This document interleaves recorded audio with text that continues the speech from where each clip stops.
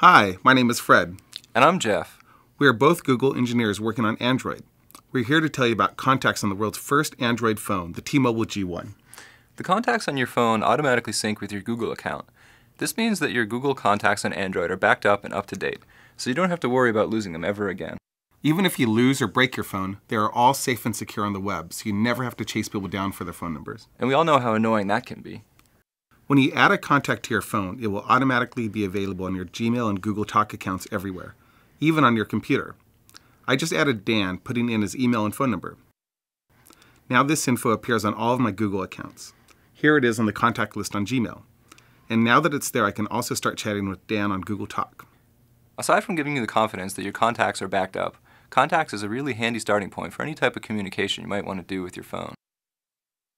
Start typing to find a contact or just browse the list. Here, let's find Dan.